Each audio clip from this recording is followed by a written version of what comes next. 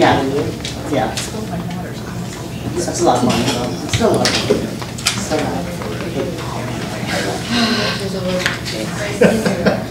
money. Now I'm being popular. One seventy. You need to not visit those sites on the city laptop. She knows the microphone's not Good evening, everyone. Uh, I'm going to call the meeting to order. The time is 7:33. It is the regular city council meeting for August 22nd. Clerk, can you please do roll call? Yes. Councilwoman Aaron, Here. Mayor Pro Tem Bliss, I'm here. Councilman Fleming, Councilor Rohrbach, Here. Councilman Soltis, Here. Councilor Wright, Here. Mayor Grafstein. I am here, thank you. Can I please have a motion to excuse Councilman Fleming? He did give notice. Your Honor, Yes, so moved. thank you. Can I get support? Support. Thank you. Any discussion? Seeing none, all in favor, please signify by saying aye. Aye. Those against say no. Councilman Fleming has been excused. The invocation and pledge of allegiance this evening will be led by Councilor Wright. I ask that you stand if you are able, please. We can all bow our head and close our eyes. Father of all creation, we walk, we come before you today to give honor and praise. Uh, We thank you for the opportunity to come together today, this day. We ask for your hand on the blessing of this meeting. Give us a spirit of teamwork, encouragement, patience, and understanding. Thank you for helping us to accomplish our work and our goals for the day. Amen. Pledge allegiance To the flag of the United States of America and to the republic for which it stands, one nation, under God, indivisible, with liberty and justice for all. Thank you. First up, we have approval of the agenda. Are there any additions or deletions this evening? All right, seeing none, we're going to go to presentations uh, by the Madison Heights Community Coalition. Can we be providing an update? Ms. Heisler, the floor is yours. Here. Make sure this is working for us. Okay, good. Okay. Hello, everyone. My name is Kimberly Heisler. I am the Executive Director of the Madison Heights Community Coalition. Thank you for allowing us to be here tonight. Just wanted to share with you a few updates and let you know what's happening in our community, what we've been doing. Um, I think you will like it. Wrong way, there we go. I apologize, I'm learning to use this. Um, who are we? So we're a coalition in Madison Heights formed to um, prevent substance abuse in our community with a focus on youth. What's important that you understand is that our community coalition is made up of several sectors and several members in this community. We have our president, Ricky Bustler. Over here, our vice president is Chief Corey Haines. Our treasurer is Mary Daly, um, who is the business services representative. I apologize, Mary, for messing up your title.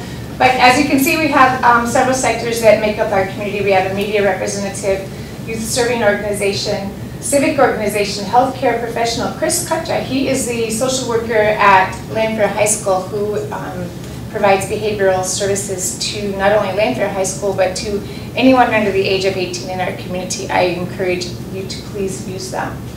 Um, Deb, Deb Lindsay, who you know is our social worker, Joe Jarbo, he's the Amores. We encourage to, we work with businesses, um, and I don't need to read the rest of them. The most important two that I want to point out, obviously, Quinn Wright, Counselor Quinn Wright is representing the council on our board, and we also have our student Jordan Aaron, you're going to hear a lot about. Um, We are a drug-free coalition, we are funded by the CDC, and we have uh, funding from the Alliance of Coalitions through Oakland Community Health Network. Um, With that, I want to tell you our most exciting update is that we have hired a project coordinator, um, Anthony Leverett, who is going to give the remainder of the presentation. Thank you. I just want to make sure this works. All right, so how you guys doing, everybody? My name is Anthony Leverett, the new project coordinator here at the Madison Heights Community Coalition. And before I jump into the presentation of who we are, what it is that we've done, I want to highlight four words that are on this board. It says, with a focus on our youth. A lot of people have given us feedback because they don't know what it is that we necessarily do, but we have a focus on our youth. They are our motivation. As the next slide should show, once I get this, a hang of this. Oops, sorry. They're our motivation. We do this for them. We do this to create a healthy future for them, to make sure that everything that they do from this moment forward allows them to have the future that they want.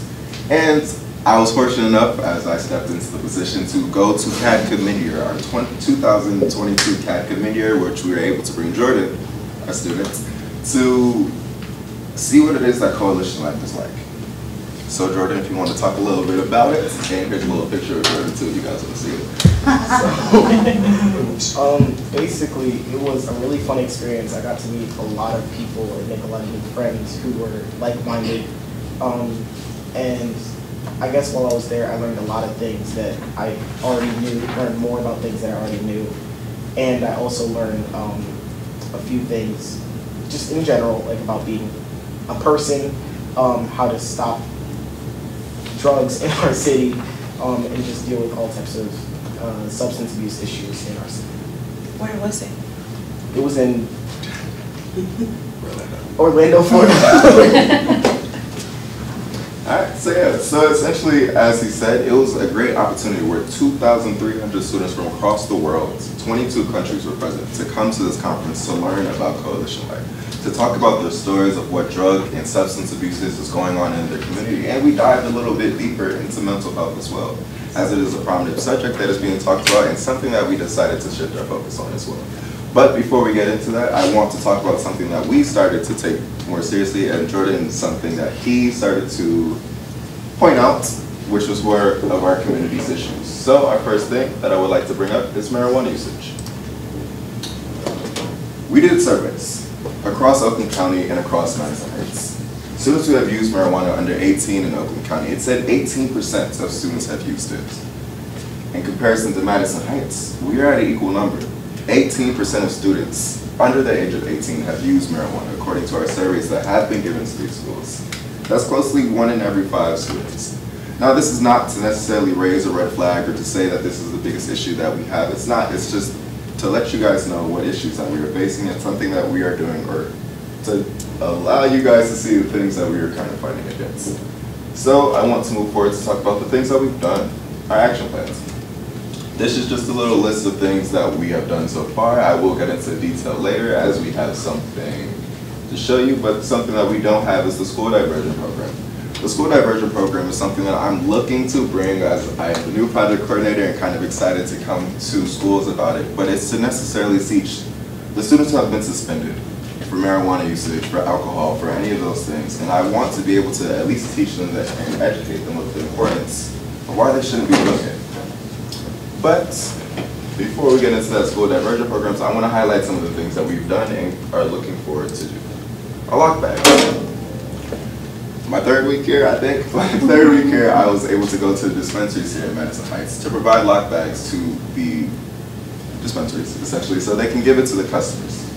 The point of these lock bags are so they can lock up the marijuana that they have. Not necessarily saying that it's a bad thing, please stop doing drugs, obviously people have their own preference, but to at least lock it up.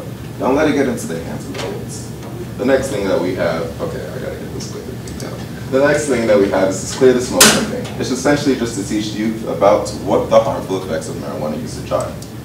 We also have THC test strips, which we have a bag for mm-hmm. stuff. We have THC test strips that we've provided to schools and the community. So if they want to make sure that there's no marijuana usage being done, then you guys can test to make sure that it's okay.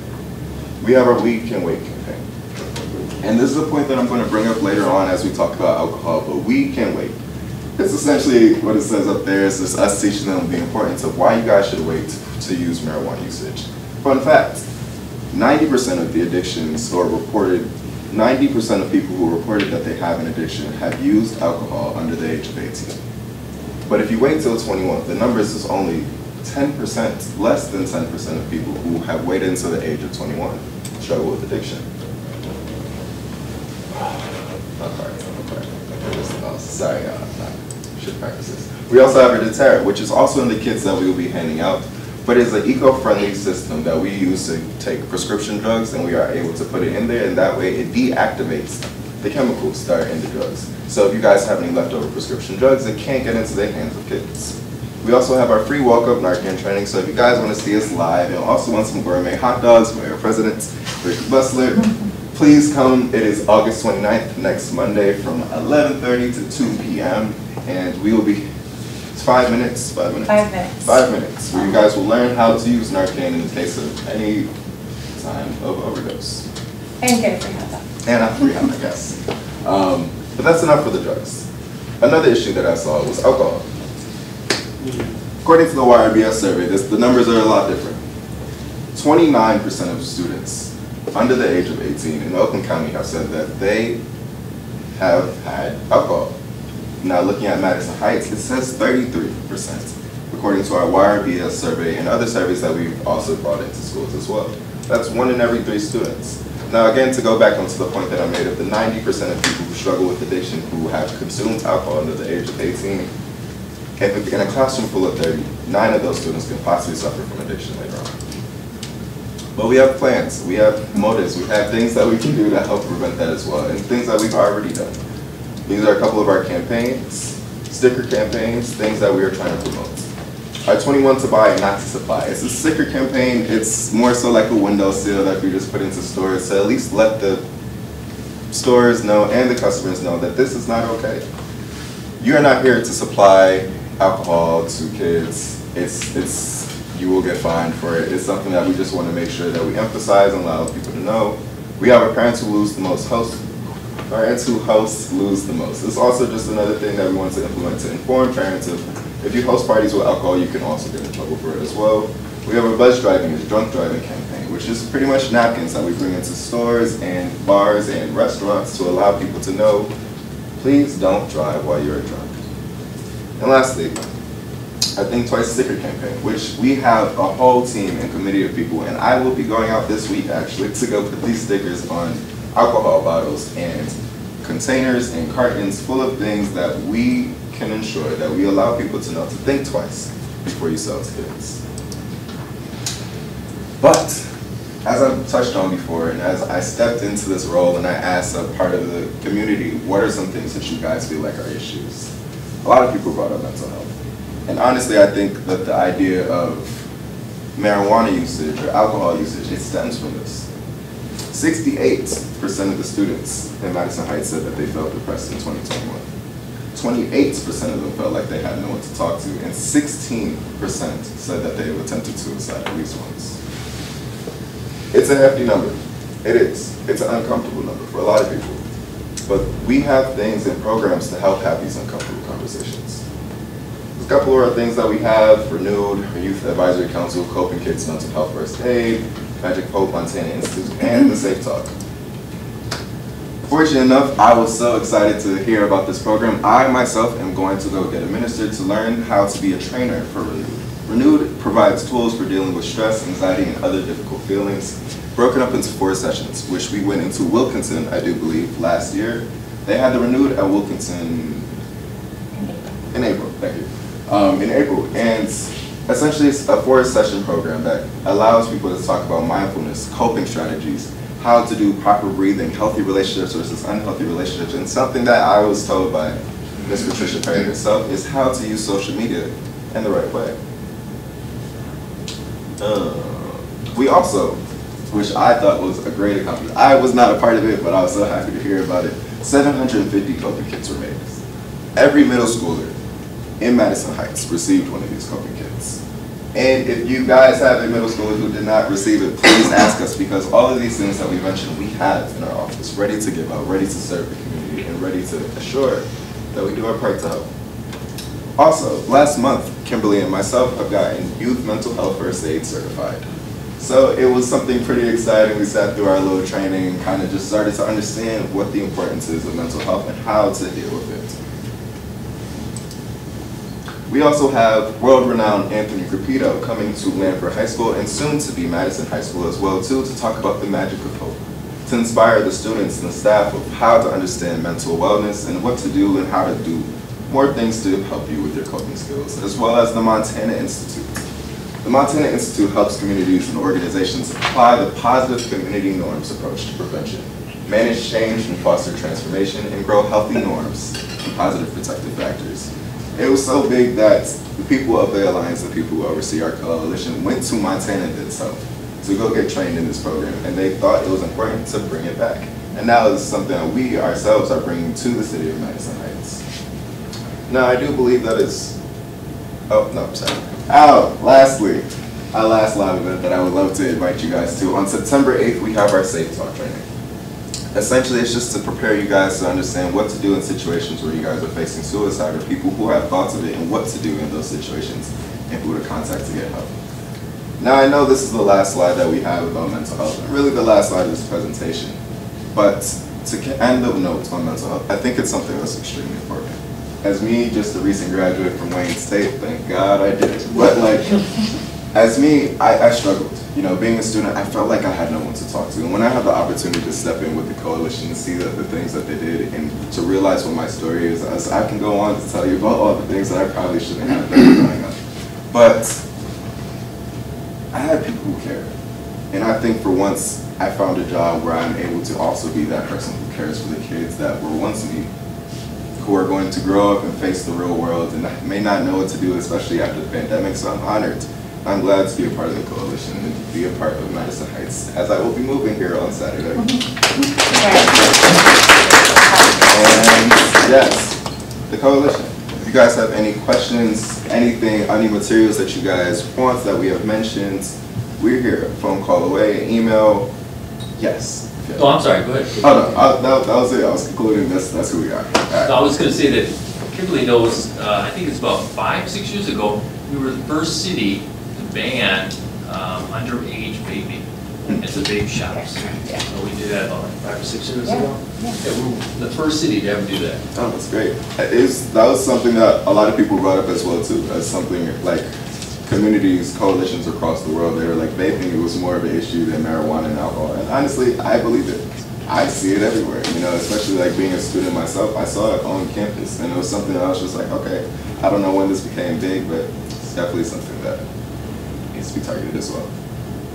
So yes, that's who we are. I don't know if there's a. We have, we have made um, a folder for each one of you that has an example of all of the items that we presented in the presentation, just so that you can later dissect it, have it in your hands, and if you have any questions or want these programs implemented sooner, just let us know. Questions, comments, council? Would you guys like these folders now? Would you like the folders now, Jill? Uh, You know, if you give them to me, that would be great. Okay. Or actually, if you leave them like that. I'll leave them with Yeah, that would be. Oh, thank you. All right. Thank you for your time today. I. Thank you so much for coming exit out. Thank you for everything you uh, do, and Jordan, great job. Thank you. We all get a round expect great things from Jordan, yes. Great, thank you. Um, Next up, we have meeting open to the public. This is the opportunity for the public to speak. We ask that you keep it to three minutes, give your name, address, anything that identifies you in the city, and with that, open to the public.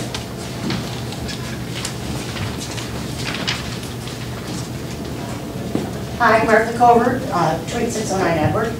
Um, I want to say, uh, Dave Soltis, thank you for the kind words. I saw that in the meeting, and I needed it that day I saw it. Thank you very much.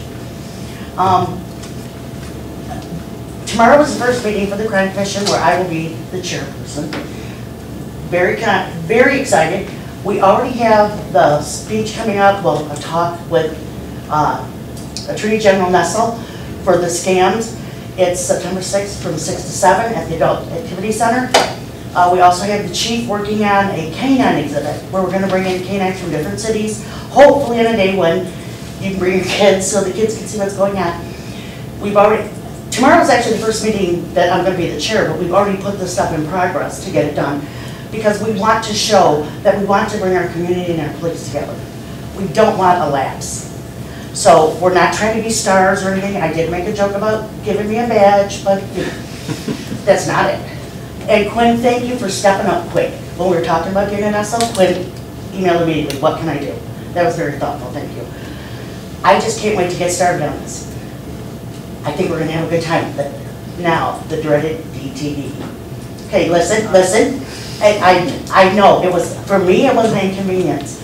But there are people that I know that couldn't use their oxygen, couldn't use their CPAPs, couldn't use the chairs that they get up from. Is there any way the city could work with DTE to get like some kind of grant? So these people could get battery generators, so that, God forbid, this happens again, they have a way to keep their quality of life. I might lose roast beef for some, but their life. That's it. Thank you. Thank you. Does anyone else from the public want to speak? All right, um, so I was going to save this for closing comments, but since you um, said this, I'm going to make a statement. This is coming from me. I'm going to take a guess that the bulk of council, not everyone, is going to agree with this. And I just want everyone to know that um, council and staff are very, very aware of the DTE outages. Um, Some are affected, some are not. Um, But basically, I- this is how I've spent the last weekend, like just a lot of, I mean, talking to people, and unfortunately, I, there's not very much that I can do other than listen to the stories and pass them along to staff who is going to pass them along to DTE, because um, it's true. You know, we live in Michigan, it's 2022, and we expect to have daily access to reliable electricity. That doesn't sound unreasonable to me. And without giving it a lot of thought, most of us just turn on the light, and we open the fridge, and we turn on our air conditioner, or our stove, or our computer. Um, And every so often, the power goes out, and it's, it's annoying. It's, yeah, it's a nuisance. Um, We might have to throw out a bit of food. Again, it's annoying, it's a nuisance, it might cost us a bit of money, but we deal with it. Um, But now, people are constantly losing their power, uh, five times over a period of three days, I think is what I heard from somebody. Um, And so people are throwing out hundreds of dollars of groceries. They have to find alternative places to work because, um, they can't work from home if they're supposed to work from home, and they don't have power. It's taking a toll financially, and it's taking a toll mentally, and it is definitely not just an annoyance. So this is becoming a health hazard, it's becoming a big concern. And then we also have to remember that it's not just our groceries and our lights. We have people who rely on electricity because they have to have uh, refrigeration for life-saving medicines, for breast milk. They need to have electricity so that they can power oxygen machines. A lot of people have the sleep machines at night that help them breathe. They- Something needs to be done, and DTE saying, here's twenty-five dollars, yeah, that's fine when it's a bit of an annoyance and I've lost power for an hour and I have to reset my clocks. But that is not enough to actually cover anything. We have real people who have real lives who need their power. So I want everyone to know that we are very aware of this and that um, staff is looking into it. They, you know, um, staff is having a meeting with DTE this week to address this. Um, You are welcome to reach out to us with your concerns, but I mean, we know and we're doing what we can. So thank you for bringing that up and I've now cut my closing comments off. All right, um, it's very frustrating, it's very scary for a lot of people. Next up, we have communications. Uh, We've got the resignation from the Human Relations and Equity Commission and the Parks and Recreation Advisory Board for Sandra Quackenbush. Uh, Can I get a motion to approve, please? Your Honor. I move that we accept the resignation of Sandra Quackenbush from those two boards and declare her seats vacant and issue the appropriate uh, things. All right, Thank you. Is there support? Your Honor, support. Thank you. Motion has been made and seconded. Is there any discussion? Your Honor, I'm just going to say Sandra Quackenbush has been an amazing partner to us on council and and both the boards that she serves on. And pretty much anywhere else that folks uh, need a, need a helping hand, she was there. She was always helping out with um, various projects and saying, hey, what else can I do? Can I bring this? Can I help with that? And um, she will be missed. She's moving out of the city, so we are going to miss her very much. So thank you, Sandra. All right, thank you. Any other comments? Your Honor? Yep. I too would just like to say sincerely, um, I'm gonna miss working with her and, and what she brings to the, the table because, um, she's one of the people I think, and this is not just disrespect anybody, she did it for the right reasons when she offered to help. There was no other purpose than to sincerely help and be a resource, and that's greatly appreciated, and, uh, particularly in a time we need it. All right, thank you. Any other discussion, comments? Seeing none, all in favor, please signify by saying aye. Aye. Those against say no. Motion carries. Uh, The seat is now vacant. Next up, we have reports. First one is the consent agenda policy. At the request of Mayor Grafstein, a consent agenda policy is being presented for City Council's consideration. If implemented, this policy would allow for the approval of routine items in a group However, any member of council or the public could request that an item be removed from the consent agenda and placed on the regular agenda for discussion. No motion would be required. Other policy highlights include that no purchases or contracts may be included in the consent agenda that are above $50,000 or if a bidder is not the lowest responsible or competent bidder. Motions to approve consent agendas will not include any reading of uh, the included items like this, and no separate discussion will take place on these items. However, backup information will be included in the public packet. All right, thank you, Ken. Uh, What is the wish of council? Your Honor. I move that council approves the consent agenda policy effective for the city council meeting of September 12th, 2022. All right, thank you. Is there support? Yeah. Yep. That's support. Thank you. Motion has been made and seconded. Is there any discussion? So, Your- oh, I'm sorry, Your Honor. I'll just say that um, uh, for the public, uh, the understanding of consent agendas, many of you have sat through long meetings where we read through very lengthy um, things and it's very repetitive. And this is going to help us get through some of those things faster that are, that are just routine things that don't need a lot of discussion. At any time, if any council member says, you know what, we need to have a conversation about this, or anybody in the public says, hey, we want to hear a conversation about this, those things pulled out immediately and we have that conversation. It is, does not remove the ability for anything to be heard about or talked about. It's all still out here, all still available to the public. It just takes away some of the routine monotony of some of these longer um, meetings. So I'm all for it. So ju- just to clarify, um, I'll, I'll give an example. Um, One of the biggest things that we do that we really could use a consent agenda for is the meeting minutes. So um, we did have a situation though, a couple of meetings ago, where the clerk said there was a, there was a small error in the meeting minutes, and so we need to make that change. So if we were using a consent agenda, I would say something like, okay, so we have, you know, items one to 10. Does everyone agree that we should do this? And the clerk could actually say, item eight, the meeting uh, minutes, we need to pull that. Okay, we will. And then we make the change, and then we, we have regular discussion, just like we do now for everything.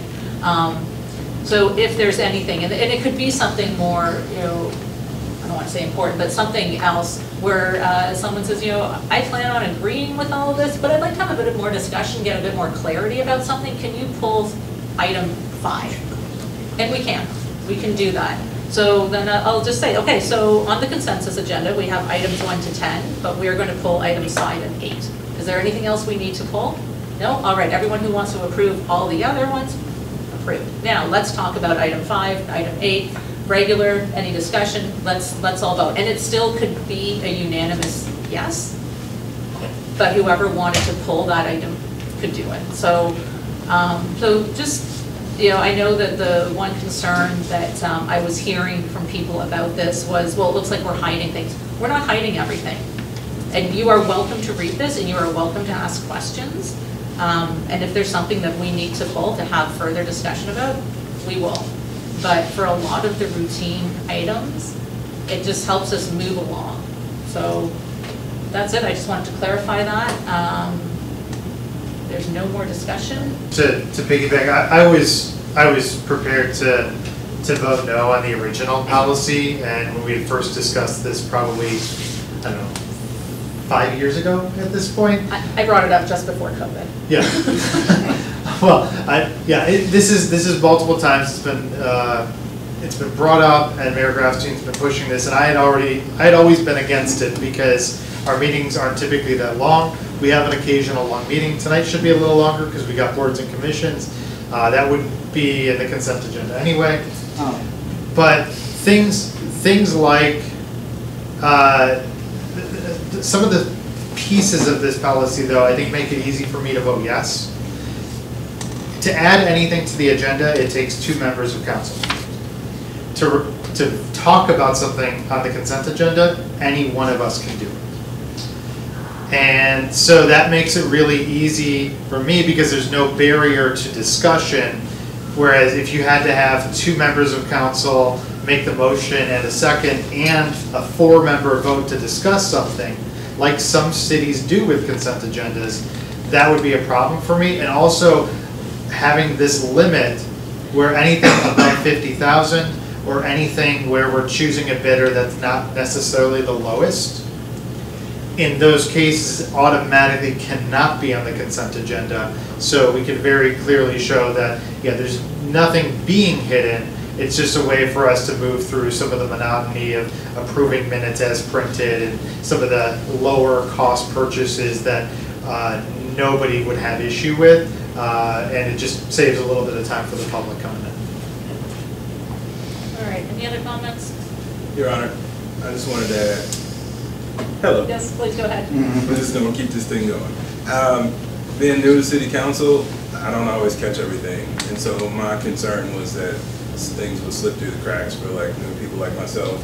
Not Toya, Toya's on top of everything. So, um, But for myself, I, um, I was, I was trying to be nice. I'm trying to be nice. Um, but the thing that I, I just confirmed is just having the ability at the, say, no, I wouldn't do this, but say at the last minute you caught something, having the ability to then say, uh, I'd like to pull that from the consent agenda is an opportunity, and that's what's important to me, because try as hard as we might, things do slip through the cracks, and having the opportunity to say, actually, you know what, I'd like to discuss or, um, get further clarification is important, so. I, I just want to add something very briefly. A lot of communities have this type of a, a setup with a consent agenda, and I've seen it work relatively well.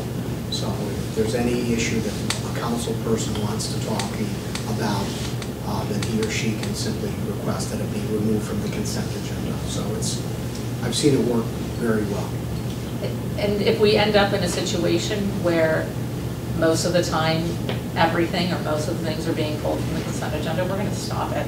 You know, it- it's, you know, if we, if it's not saving us time and it's just creating more bureaucracy, we're not, we're not gonna do it. Judge likes it, it's gotta be. So with that, uh, seeing no more discussion, all in favor, please signify by saying aye. Aye. Those against say no. Motion carries, thank you. Next up from DPS, we have the special event, the cyclocross race. Morning Cranks has approached the DPS requesting the use of Civic Center Park for a cyclocross bike event over the weekend of September the 29th through October 1st. As this is a special use under the pavilion and park rental guidelines, the park use agreement requires the approval of city council. Staff recommends that council approve the event, subject to compliance with the policy on uniform insurance requirements for special events, and authorize the mayor and city clerk to sign the park use agreement on behalf of the city. And David, representing Morning Cranks, is here with us today, if you have any questions or want to hear more about it. All right, uh, so what is the wish of council? Your Honor? Yes. I move that we approve this event, subject to its compliance with our policy on uniform insurance requirements, uh, and authorize the mayor and clerk to sign the agreement on behalf of the city. Thank you, is there support? Your Yeah. Sorry, council. All support. Thank you. Uh, Motion has been made and seconded, is there any discussion? All right, seeing none, all in favor, please signify by saying aye. Aye. Those against say no. Carries. All right, uh, then, next up, um, and this is probably going to take up the bulk of our meeting, it is the council, um, council is appointing the board and commission members. So, a few years ago, we changed the way that we did this. Um, We were just every other meeting, someone had left the board, there was a vacancy, we were making appointments. So a few years ago, we made changes, so February and August are the two times a year that we do that. Um, And generally, what we do is we go through this in alphabetical order with the council representative making the appointments, um, other than the few that are mayor's appointments. So unless there is a reason to not do that, I'm going to start with the Active Adult Center Advisory Board. Your Honor, I'd like to make, and correct me if I'm using um, the wrong way, Uh, I'd like to uh, nominate Margaret, I'd like to make a motion to move forward Margaret uh, Topping and Barbara Shimura to the Adult Active Okay. Center Advisory Board? Okay, so there's one spot. Okay, oh, sorry, So um, it I looks. read that wrong. It's okay. So there is one spot, it looks like Margaret Topping is currently on the board, and she's willing to Um, So you have the choice of appointing her, renewing it basically, but reappointing her, or appointing um, the other person. I'm so sorry, I read that wrong. Um, and then I'd like to make the motion to appoint Margaret Topping Willing to a second term. expiring August 2025. Yes. All right, thank you. Uh, Is there support? Your Honor, I'll support. Your motion has been made seconded. Is there any discussion? Seeing none, all in favor, please signify by saying aye. Aye. Those against say no. Motion carries. Uh, Next up, we have the Arts Board. Your Honor, uh, I move that we appoint uh, Jennifer Nagel and Anna Bassler to the, uh, the main terms that expire 8/31/25. Uh, Jennifer Zmarzak to the term that expires 8/31/2023. And Jason Theodora, Jillian Sweet, and Amy Lewis to the alternate terms that expire 8/31/23 and 8/31/24 respectively. All right, thank you. Is there support? Your Honor, I'll support. You. Motion has been made seconded. Is there any discussion? Seeing none, all in favor, please signify by saying aye. Aye. Those against say no. Motion carries. Congratulations to everyone who was appointed. Uh, Next up is the Construction Board of Appeals. Um, So this one does not have a council representative. Um, So if I can get a motion to approve Brad Ripple from Milliken Kraus to the term expiring August 2024. Your Honor, Yes. so moved. Thank. Is there support? Support, Your Honor. Thank you. Motion has been made and seconded. Any discussion? Seeing none, all in favor, please signify by saying aye. Aye. Those against say no. Motion carries. Uh, Next up is Crime Commission. This is actually a mayor appointment, and Sean Fleming, who is a representative, um, asked that, uh, and I'm going to I'm going to make this appointment, but asked that Alexandra Quinto um, has the appointment for this, as she has a background uh, in law enforcement. So uh, I agree with uh, Councilman Fleming that that would be a good fit for Crime Commission. Um, So she is actually, well, I'm doing this backwards, she is going to be going to the alternate position, and I'm going to nominate Colleen Monahan, who is in the alternate, to the uh, regular. No, No, it's not FEC. Nope, It's just the alternate seat.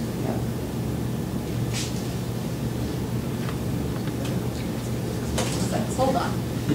Sorry, Her I'm term's not, looking, her term's not expiring until next year. okay, then why is that there? Because she could have been moved up to uh, an alternate term for a longer period if you wanted to. I just- oh, I Oh, just okay, saw. all right, thank you, sorry, we, we, just to give clarification, we all get spreadsheets that have everything on here, but sometimes it's a bit difficult Yeah. to read. Okay, thank you, I was trying to figure out what column, so I take that back, so I am gonna go with Alexandra Nkoito, um, for the term expiring August two thousand and twenty-four. Can someone, uh, make that motion, please? Your Honor, Yes, uh, I move that we confirm the mayor's appointment. thank you, uh, is there support? Your Honor? Yes. Support. Thank you, motion has been made and seconded, is there any discussion? All right, sorry about that, so um, this is one of those roles where uh, she's got the law enforcement background, and so I felt that she was a better candidate. Um, you know, Councilman Fleming asked me to do this, and I said, yep, that was fine, I agree with him on that, we're not touching Colleen. So, all in favor, please signify by saying aye. Aye. those against say no, motion carries. Then, uh, next up is elected officials' compensation. There's one spot. So, um, there is one spot there, have two applicants. and we have two applicants, is this, this is the mayor's? No, okay. So this is not a mayor's appointment, um, if someone wants to make a motion, but I have my own thoughts on this if anyone wants to. So, motion from council, Uh, Your Honor, please. so I make a motion an- I- Oh, there's only one person who can be You have to appointed. pick one. Oh, So I, I, uh, I'm not set up with the new system and I didn't get a list like you had on paper copy. Oh, okay. So And because power outages and low water pressure aren't enough, we also have the new system. Your Honor, you- you said, you said you had some thoughts. Um, I think that uh, Jennifer Zamarzlik uh would be a good candidate for this. She's been very active with the DDA, um, so And that was who? Jennifer Zamarslik. Your, Your Honor. Yes, please. I, I would make that motion that we appoint uh, Jennifer Zmarzlik to the seat on the elected officials compensation commission expiring 8/31/2029. Thank you. Is there support? Your Honor? Yes. Support. Thank you. Motion has been made and seconded. Is there any discussion? Just have a question. Sure. I mean, just given the, the list of candidates, should we uh, consider if people apply for multiple commissions or no? I mean, like, we have some people that only apply for one and some not, didn't apply for, for multiple, so I guess I'm Um, just asking, to take that into consideration. This, this is a board that meets once every two years. So if someone wants to be really active in the city, this is not one of the active boards. Um, The people who are on there now, I feel like everybody who's on there, most of the people who are on there now are already on other boards. And so this is sort of a, an extra that they do. So a quick look to see who else is on there.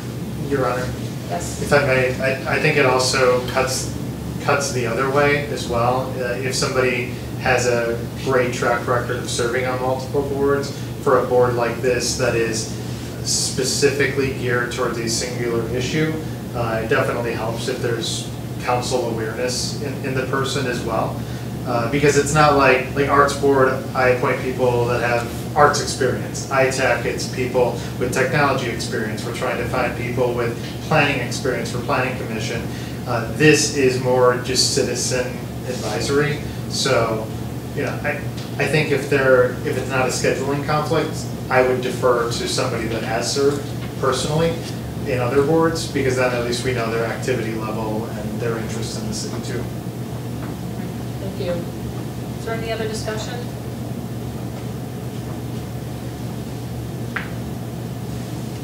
All right, seeing none, all in favor, please signify by saying aye. Aye, those against say no. Motion carries. Uh, Next up is the Environmental Citizens Commission.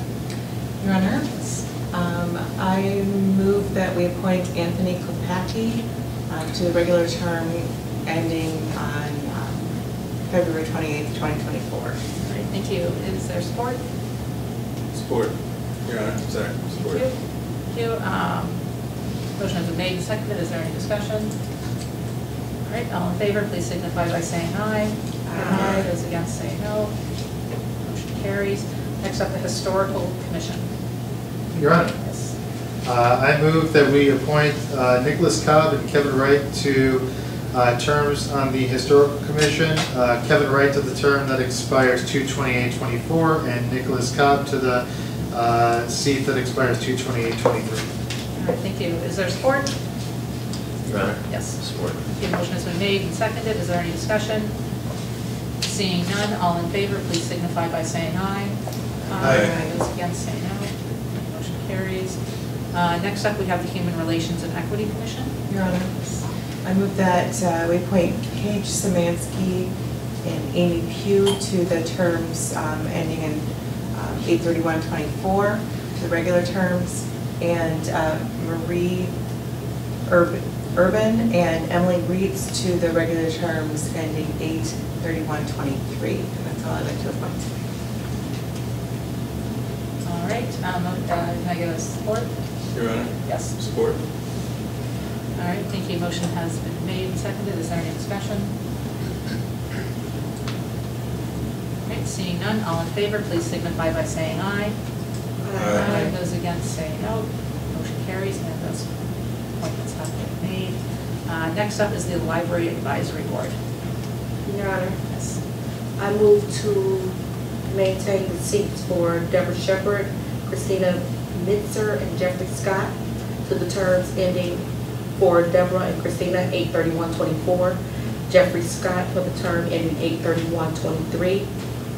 I'd like to move um, William Muir to the term ending 8/31/24. And Angela Freeman to the regular term ending 8/31/24. Cassie Jackson and um, um, just Amanda May to the terms ending 8/31/23, with Cassie Jackson being the alternate. All right, thank you. Uh, Is there support? Your Honor. Yes, no support. Thank you. Motion has been made and seconded. Is there any discussion? Your, Your Honor, Yes. Uh, Counselor Rohrbach, would you have to abstain from this motion? Oh, you're yes, you would. sorry. Yeah, you would. I'm sorry, I do Yeah. have to abstain. Y- Your Honor, I'll, I'll second. All right, thank you. Um, Is there any discussion? Just, Your Honor, I'm abstaining Yes. because my mother is one of the people they appointed. Thank you for the clarification. So just, just, just to Sorry. clarify for everybody, um, family members of council are not allowed to be appointed, or allowed to come onto the boards unless they were already on the boards. So when Councilor Rohrbach uh, came onto council, her mother was already on the board. So that's fine, we're not kicking her off of the board, but Councilor Rohrbach is not allowed to vote. Yes. I was just impressed with the, the clarity with which uh, Councilor Aaron did that entire motion. That was a, that was a rough one. Good job. She should make all the motions at this point. Okay, so, uh, but it has been made and seconded. Um, Counselor Rohrbach will be abstaining from this. Uh, Any other discussion? All in favor, please signify by saying aye. Aye. Those against say no. Motion carries. Next up is Parks and Recreation. This is also, um, this is also a mayor's appointment. So, um, this is one where Sandra, Sandra Quackenbush has just resigned. So there's, that is a vacant seat. And I believe that's the only vacant seat. It's, this is just getting a bit confusing, and then, Yeah, um, I did, that's okay. Two, two alternates. So the two alternates, but there doesn't seem to be a. No, there's a vacant seat that expires in twenty-four, well, two, and then there's one vacant seat that expires in twenty-four, and then because of her seat was supposed to be renewed, and she not, she's not gonna be, oh, no, I'm sorry, hers expires in twenty-three. Yeah, so, one vacant seat in twenty-three and one vacant seat in twenty-four. Okay, Your Honor, yes. it, it looks to me like if we appoint one of the alternates to that main seat, then we would fill the alternate seat. But there's only one seat. No, there's No, two. there should be two. Yeah, I, I, I got that- it. Yeah, no, I, I understand, I got it, I got it, okay, thank you. Yeah, this is where it gets a bit confusing, and then when we move an alternate into, um, a regular seat, then the alternate seat becomes vacant, but then you don't see it. And when we have someone who resigns at this meeting, we don't see it. So there are two regular seats, and they're all two, um, are alternates. So I'm actually going to appoint, um, Christopher Mullencup to the term, the regular term ending in February 2024. Um, And then, and I'm going to start with that one. So if I can get uh, someone to uh, approve my appointment, please. Your Honor, Yes. I move that we approve the mayor's appointment. All right. Thank you. Is there support? Yeah, Yes. I support. Thank you. Motion has been made and seconded. Is there any discussion? Um, Just to clarify, uh, a lot of times, not always, but we, we move the alternate up into the regular position. In this case, Chris Mullencup um, has been very active with a lot of parks-related uh, projects. Um, He's been very active with the men's club, um, doing a lot of different things. And so I know already that he will be active on this board, and so I am jumping him over because of that. Um, if there's Any other discussion, or? Your Honor, Yes. uh, just, there's a, there's a lot of great candidates here. Um, I, I will support the mayor's appointment, but I'm wondering if it would be worth adding an alternate to this board at a later date, because there are some really strong people that have applied. Okay, that, that's fine. I just wanted to sort of one, Yeah, one at a, time. at a Yep, future date, I'm just throwing that out as, Sure. it would take two ordinance votes in order to change the Parks and Rec one to another alternate. Uh, we couldn't do it by resolution, but, uh, a lot of the names on this list are really active and care a lot about our parks, so Okay, maybe we'd get one more in. okay. Um, Is there any other discussion? All right, seeing none, all in favor, please signify by saying aye. Aye. And those against say no. All right, uh, Chris Mullencup has been appointed to the term uh, ending February 24. And then I would like to move one of the alternates up. And Counselor Rohrbach, um, Councilwoman Aaron, you know, do either of you, I know that Vita Palazzolo has been very active with the Arts Board. Um, And I know that when I made the appointment of Lisa Wright, somebody I don't know, she had been interested in bringing festivals and doing things. So if either of you want to weigh in, or if you would prefer that I just leave it as is and leave them as alternates. I- You're the ones who have hands-on experience on this. Your Honor. Yes. Um, Lisa Wright is pretty new Okay. to the, to the Parks and Rec Board, so she hasn't had much time Okay. to um, get, to jump into Sure, anything at this point, so I can't, um, you know, Vita has done uh, quite a bit of work.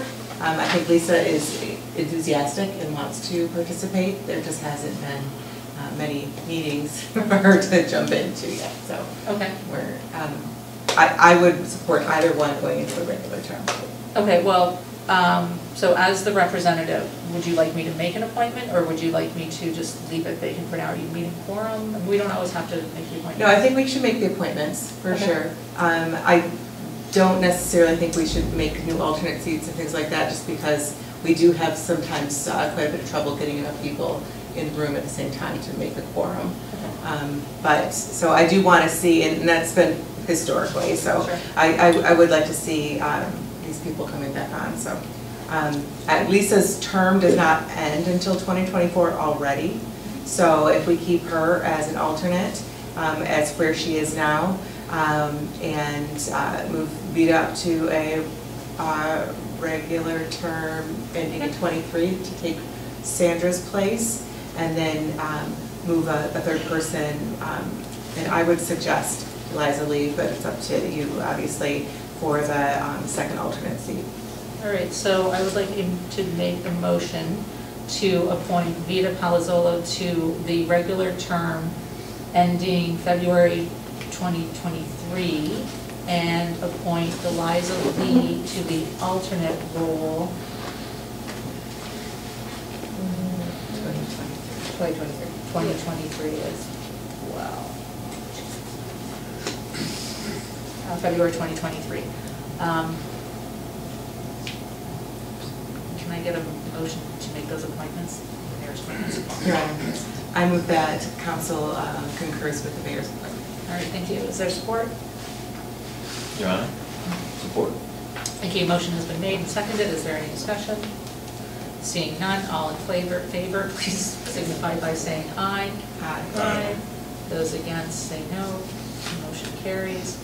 Um, And then next up, we have Planning Commission. This is also a mayor's appointment. Um, So we've got two members who are up for renewal at this point. Uh, One of them has resigned, and at this point, I am not going to fill their spot, but I am going to ask for um, a motion from council to reappoint Melissa Keldassi uh, for a term expiring August 2025. Your Honor, Yes. so moved. Thank you.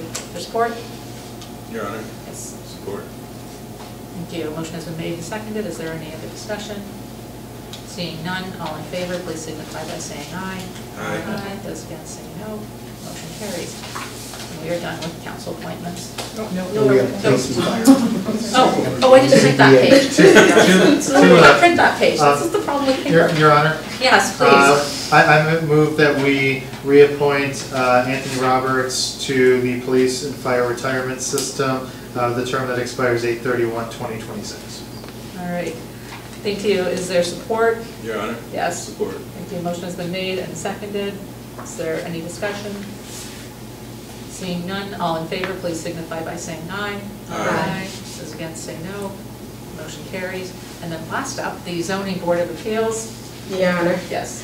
I move that we move Dale Long, Low Ranger to the term ending two twenty-eight twenty-five. All right, thank you. Is there support? Your Honor, Yes. support. Thank you. Motion has been made and seconded. Is there any discussion? What's his last name? Low Ranger.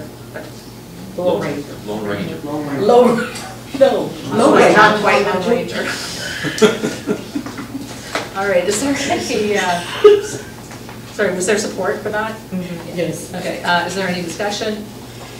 Um, Seeing none, all in favor, please signify by saying aye. Aye. Those against say no, motion carries. And now we are done, the boards and appointments, sorry, I didn't print up the last page. Um, All right, next up, we have the bid awards purchases uh, from the city manager. We have the change order for the basement water removal and treatment at 945 East 10 Mile Road. As a result of heavy rains, the pit located at the former 945 East 10 Mile Road reached capacity. Therefore, Adams Group was required to obtain frac tanks and dispose of 63,000 gallons of liquid waste. Um, This included the required labor, equipment, PPE, tools, and supplies to perform this scope of work.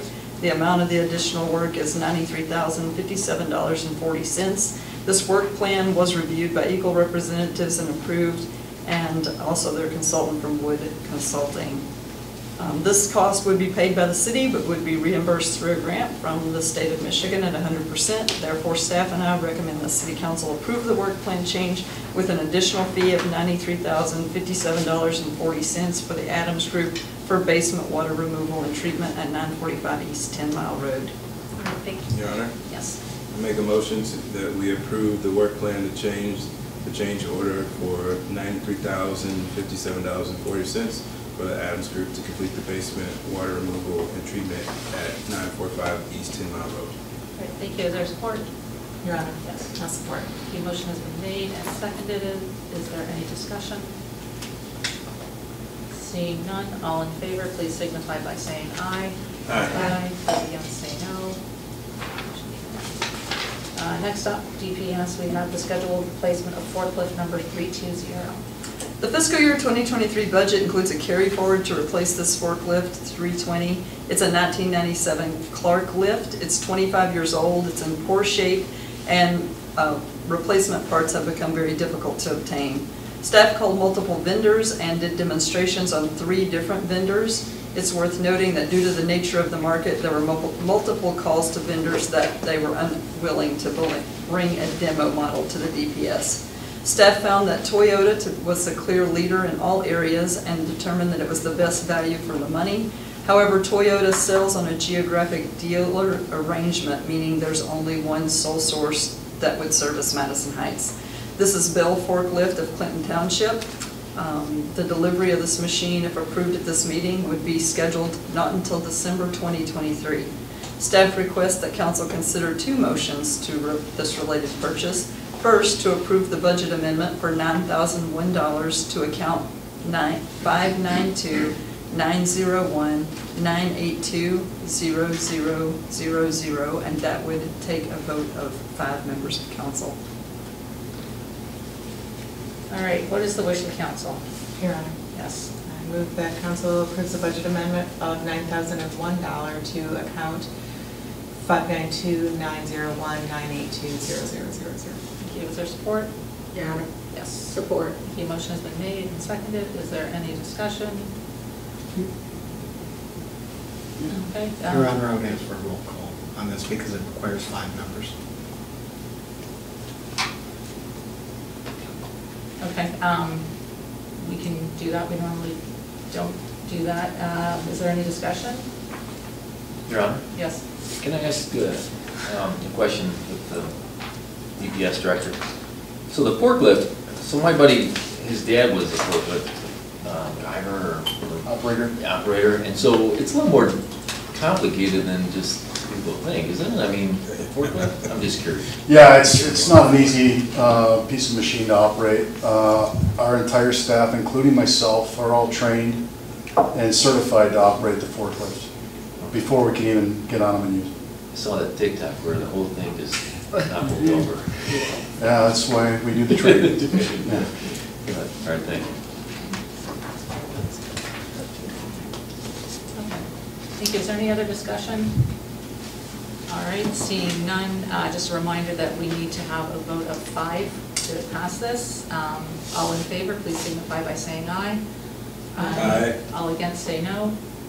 Motion carries six zero. Thank you. And then the second part. There's a second motion to approve the purchase of one Toyota Model 48FGU30 lift truck from Bell Forklift of Clinton Township, Michigan, in the amount of $49,001 under the sole source provision of the city's purchasing ordinance.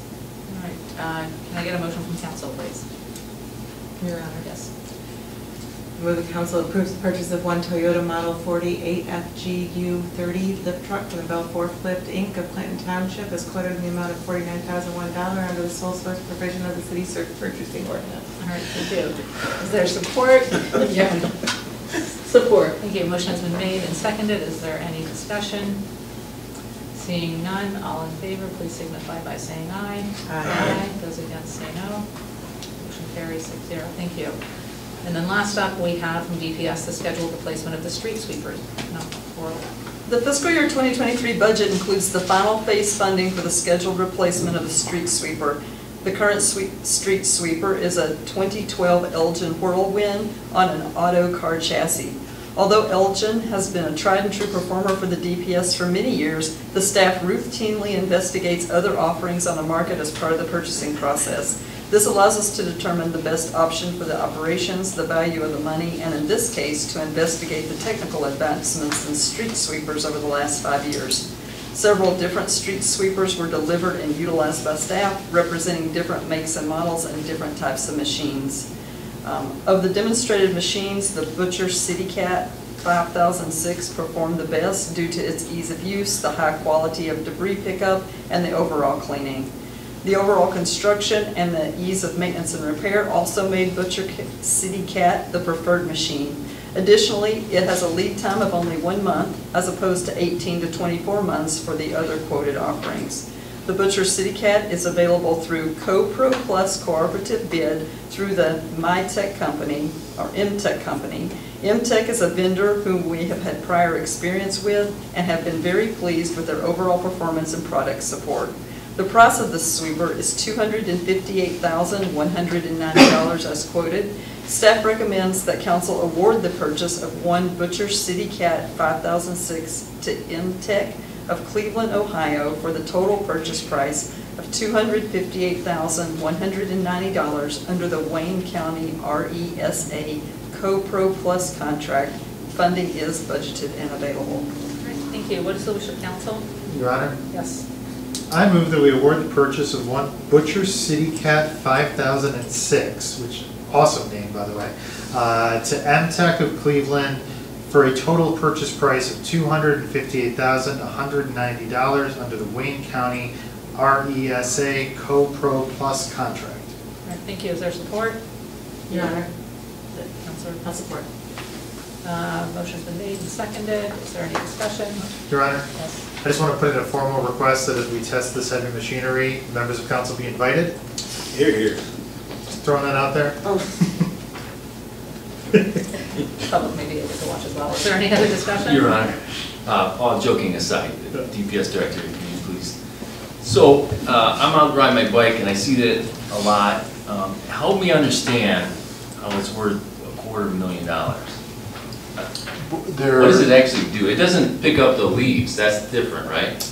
Uh, yes, it does. Uh, Yes and no. Um, As far as the, our leaf collection operation, um, we use three different methods of, of picking up leaves. We have a, um, a leaf claw crew that goes out, and that's the machine and the front end loader that picks leaves up in bulk. We have the leaf, leaf vac systems that go pick up, and they're a little bit more detailed. And then the sweeper comes by in roughly either be- uh, early in the season, the very tail end of the season, does the very the fine cleanup, uh, detailed cleanup at the end of the, of the leaf season. The le the sweepers are, are very technical pieces of equipment. Uh, The Elgins that we have now have upper, they have the engine motors and then the the upper vacuum motors that operate. That's where we're experiencing a lot of the problems with the Elgins, uh, the Whirlwind and the Crosswinds. Now, they are very finicky pieces of equipment. They apply water, uh, they sweep the streets, they pick up all the debris in the roads, the fine debris. Um, A lot of that, as it's mixed with water, gets gummed up into the system. So for a sweeper to make 10 years or or last for 10 years, is which this replacement is, is, I think, remarkable and a testament to our motor pool division for keeping those equipment on the road. Uh, The same thing goes with the new sweepers. Uh, The the the life expectancy is right around seven years for a sweeper, and for us to get it, uh, and we anticipate this new sweeper, the City Cat, to last seven to 10 years for us. So you're saying that if we didn't have it, it would be noticeable, very noticeable on the streets, Yes. Yes. Um, excluding the leaves? I, I think that the, the city of Madison Heights has done a remarkable job of keeping our, our streets, both the major roads and the residential roads, um, very clean. Right, I'm just asking about this one particular expensive item, that's all. Say that, I'm sorry? I, I'm just, I, I understand you, guys- you guys do a fantastic job, it's just this one, when I see the sweeper, I don't, you know, If- I look behind it and I, I Yeah, if, if we did not have a new sweeper, if we did not purchase a new sweeper, the, I, I, the, how do I say this? The amount of times, the frequency, the frequency that the city DPS would be on residential roads would be noticeable. If we only had one sweeper in the city, trying to maintain the entire city, it would be noticeable, noticeable absence of the sweeping, the street sweeping, both on major roads and residential roads. We routinely put out, and we try to hit every residential road through the summer twice a month. Uh, And we've been pretty, pretty good about maintaining that. Uh, And then also sweeping the major roads. So for, to take one sweeper out of the mix in the operation, it would be, I, I think, very a significant, uh, residents and patrons of the city would notice it drastically. And does it also help um, from the um, drains getting all clogged up? Uh, Oh, certainly, certainly. In the, in the city, we have um, uh, restricted drain covers, and that's to slow the introduction of stormwater into the, uh, into the catch basins and the storm system. With the restricted, uh, the hole restrictions that are in the covers of the, of the catch basins, they get gummed up with leaves, debris, uh, people who mow their lawns and just throw the grass and cl- grass clippings into the road. They clog up those smaller holes um, routinely. So to have our street sweepers and the benefit of having our street sweepers uh, out in front of houses uh, every other week does a better job of removing that debris from those restrictions. Thank you. Are there any other questions, comments from council? Okay, Seeing none, all in favor, please signify by saying aye. Aye. Those against say no. Motion carries, thank you. Thank you, Mr. Almus. Um, and that, next up, we have the uh, minutes from the last meeting on August 8th. Can I get a motion from council to approve? Your Honor, Yes, I'd like to make a motion to approve the minutes from August 8th. thank you. Is there support? Your Honor, Yes. support. The motion has been made and seconded. Is there any discussion? All in favor, please signify by saying aye. Aye. Those against say no. Motion carries. Thank you. And with that, I invite closing comments, starting with Councilwoman Ryan. Thank you, Your Honor. I want to first say, I am so proud of my little boy. I don't know if you all noticed, but that little cute little boy was my son. Um, Jordan, I mean, well, yeah, he's, he's taller than I am. But Jordan was really excited and I, about going to CADCA mid-year conference. And he called and yelled at me because I always tell him, people see you before they hear you. So you have to make certain that you dress the part, because no matter what you look like, if you're not dressed properly, people are not gonna pay you any attention. So I packed him four suits. He had suits and ties and everything. He called me the next day, the first night, he said, Mom, you overdressed me. Everybody has on basketball shorts and t-shirts. I said, well, you have some in your luggage, wear that. So, but I was really proud that he went there and he learned. And when Miss Heisler first came to me, well, actually, she went to Jordan first and told Jordan about this wonderful event. And he come up and tell me, and she says, oh my gosh, I keep forgetting that he's only 13 and he needs your permission. I'm like, yeah. And she mentioned that he was gonna have an adult chaperone. I was really skeptical about sending my child to another state with a person whom I had never met. And Anthony, we met over at Madhouse, and I was so impressed with that young man and the, his goal and his passion that he had for our city and for our coalition, and he's not even a resident. Yeah, he has so much, so many ideas embedded in his head about what he wants to do for the city of Madison Heights and how he wants the coalition to go in the direction. His passion for the youth is phenomenal, and I trust him to take my child. I don't know how far Florida is, what, like 900 miles? And I didn't talk to my little boy, or big boy, I gotta stop saying that, but I didn't talk to my son pretty much for five days because he was so involved in what he was learning in the mid-year as well as being in the hands of Mr. Levert. So thank you, Anthony, for caring for Jordan the way that you did. I appreciate you, and you're welcome to the barbecue. Okay. Um, Secondly, I, um, being that I'm new to council, I'm not really sure how we go about removing a meeting from our schedule. But I was looking at the calendar for next month, and I noticed that Rosh Hashanah, which is a Jewish holiday, it begins on September 25th through the 27th. And we have a meeting scheduled on the 26th. So I would like for us to take into consideration if we can cancel that meeting and honor our Jewish members of council, because I'm sure that they will not be here um, for that meeting. I, I do know, and I'm quite certain that the HREC is, is working on plans to celebrate this holiday and, you know, to respect our Jewish community. So I really would like to see how we can go about doing that if we could possibly put it on our agenda for our September 12th meeting and vote on it. I'm- Like I said, I'm new, I don't know, but I do know that Christmas, the Christmas holiday, that meeting is removed in December, so we only have that one meeting in December. So if we can do the same for this special holiday for them. And that's all I have, yeah.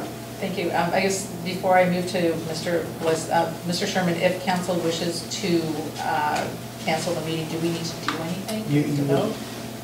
I was involved when we changed the charter uh, from two meetings in December to one meeting in December, and it was changed by way of charter. You would not be able to cancel the meeting because our charter requires two meetings, but we could reschedule the meeting to a different day. So that's something that we could do, we could think about. And I'll, I'll get back to council on, on how to do that. Okay, all right, thank you. Mr. Bliss, what was yours? Yeah, Your Honor, um, I, I agree. Coun- Councilwoman Aaron makes a, a really great point. and I think in some of the months where business is light, like we've had some meetings that were like twenty-seven minutes.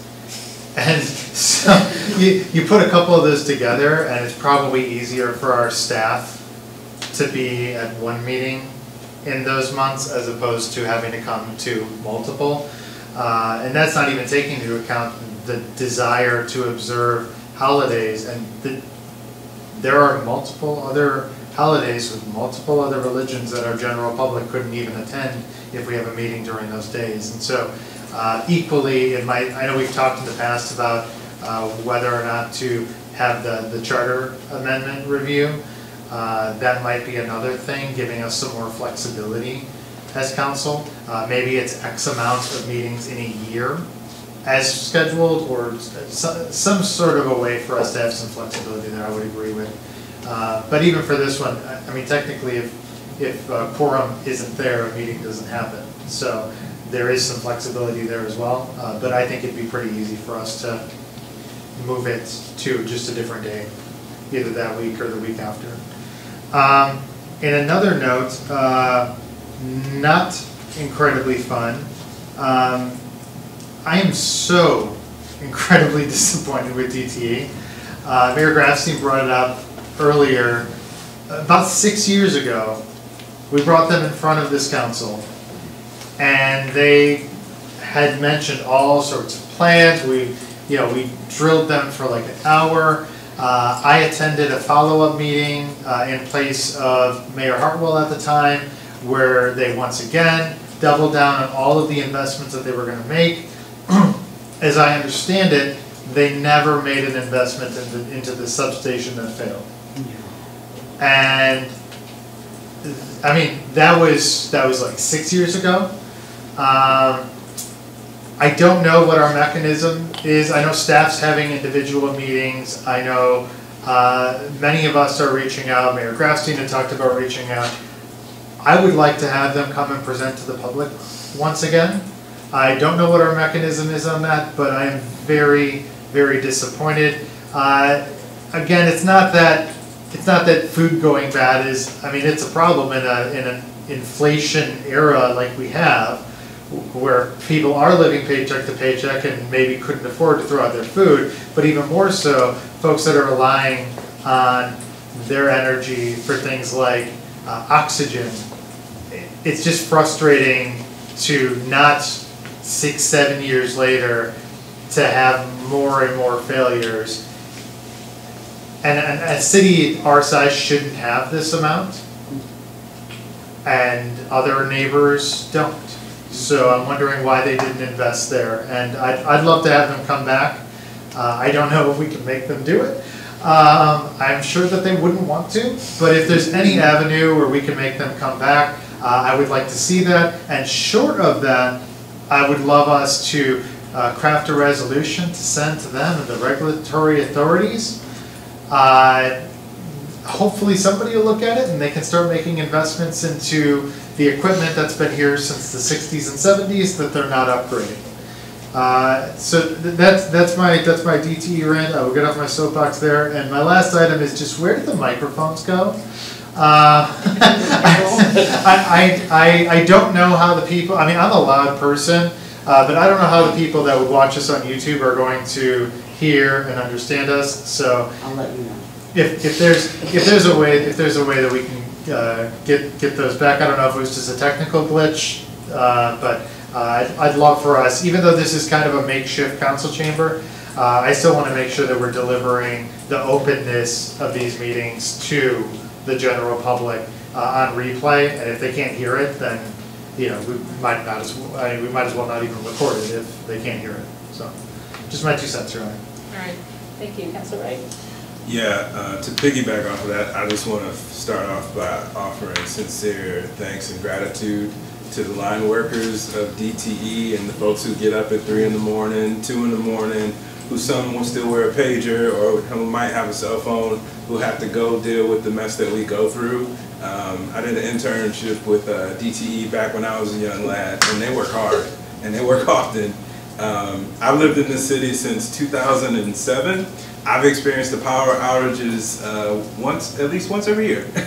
and, um, you know, I want to just let you guys know, we talk about people who have equipment. Um, I have a CPAP machine. Um, the CPAP machine literally breathes for you because you stop breathing maybe 10 to 20 times an hour. And so when that equipment goes out, it could be like life threatening because you aren't aware to know that you're not breathing. And so I say that not to uh, put some urgency on DTE's um, mind, but they should have a critical urgency, but to remind my fellow folks who have that type of equipment, please prepare for a rainy day. Prepare for the power to go out. Um, we have a beautiful store in our city called Harbor Freight. I thought about it when they were talking about it. They sell battery packs. Have a backup plan. Prepare for things to go wrong. We are unfortunately going to lose power as hard as the folks are. I know, shocker, right? I'm, I'm sorry. It's going to happen. Like, so just please prepare if you hear this and know. I, I too need to go out and get one of those battery packs for my CPAP machine because um, a lot of people have CPAP machines more than we probably realize. It's not always about being morbidly obese or being super elderly. Um, I have some friends who are like former athletes who have CPAP. I wish I was one of those former athletes. But um, I also want to, shifting gears, I want to uh, apologize to uh, Barbara Shimura. I had a uh, Steve Harvey Miss America moment where I said the wrong name, so I sincerely apologize to her um, for that. So uh, apologies for, for doing that. Uh, I want to give kudos to the Madison Heights uh, Community Coalition. I had an opportunity to meet Anthony a couple of times, and this young man impresses me every time I met him. He is prepared. Uh, Anthony is what I would call a game changer. Um, he comes in and he, he's the person that's going to be impactful in this community. So I'm very happy to see what he does and the folks at Community Coalition. I'm proud to be the um, council rep on that board, and um, I give all the kudos to Jordan, his son, too. I nickname him Hollywood, but he's a, a fantastic uh, human being and a person, and I know he's going to leave a, a great impact on, on our community. So um, finally, I just wanted to uh, remind us all, uh, as we're talking about the street sweepers, one of the beauty in our city and the things we like about our city is how clean it is, how safe it is, uh, the school systems, the neighborhoods, it's awesome. And when we get equipment like that, the street sweeper equipment, one of the things that helps them out is when we move our cars off the street. I can't tell you how disappointing it is to see a street sweeper coming around the corner and they hit every house except for yours because there's a car parked in front of it. So there's like a U and clean streets except for your house. So just let's remember to be kind and let's remember to be courteous. That's it. Thank you. Mr. Sherman? Nothing, Your Honor. Thank you. Ms. Marsh? Nothing. Clerk's office? Nothing this evening. Dr. Rohrbach? Um, I gotta, What's, what's that? You broke the trend. I broke the trend. Um, uh, so I want to say first, um, I made a mistake last time and I said the HREC is having a sale, a native plant sale. Um, they are, but the one on the fourteenth of August, uh, was the Environmental Citizens Committee sale. It was, uh, nice and successful. They did a great job. Thank you to those that, uh, went out and manned the sale and did all the work. It's the first one that I've had to miss, um, since we started doing these. Um, so um, Thank you for all those that, um, especially Nicole Fox, who stepped up and really just made that go uh, seamlessly. Um, And thank you to everybody who went out and purchased native plants to plant in their home gardens. Um, The HREC is having a sale, um, a native plant sale on the, on the 18th of September. Um, And so uh, be on the lookout, it's always here at the, in the parking lot outside of the the police department. Plants are six fifty a piece, more or less. And um, I tell you what, my garden looks really good. Two years later, it it just fills in, it's gorgeous, it's very exciting, and all native, good pollinator plants for our community. Um, uh, I'm not gonna repeat everything everybody said about the power outages and DTE. Yeah. Um, And uh, school starts on Monday for most of the kids in our district, um, both Lamphere and Madison, I believe. Um, And uh, includes my three. They are headed out to Edmonson and Page Middle School this year, so big changes, big exciting things happening. So good luck to all of our kids heading to, um, to the- their next year of schooling, and um, it'll, it'll be okay. And um, I just want to say, uh, you know, thank you to everybody who applied for our boards and commissions. We still have some vacancies, we have some, we made appointments today um, to uh, boards and um, still remain open seats because we didn't have enough people who had applied for vacant seats on our boards and commissions. So please, um, if you are interested, we'll be appointing again in February. Please um, apply for these positions. We need more than the same 10 people, 12 people, 30 people on all these boards and commissions. These are working boards, these are working commissions. These are people who are doing stuff in our community and we invite everyone to apply. Thank you. Thank you. Mr. Soltis?